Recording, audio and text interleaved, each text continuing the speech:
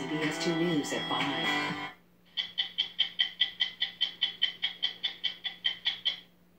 On Tuesday, Donald Trump reached deep into America's ranks of the discouraged and neglected, a largely white constituency.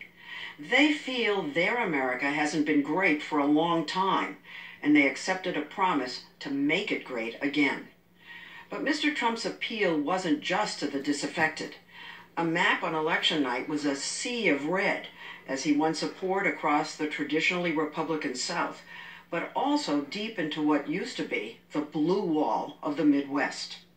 Hillary Clinton came up short among her own supporters in large cities and affluent suburbs, among minorities, and especially women. Just 51% of college educated white women voted to make her the first female president. Her base didn't come with the enthusiasm and the turnout she needed to fend off Donald Trump's new and energized coalition. On Friday, Mr.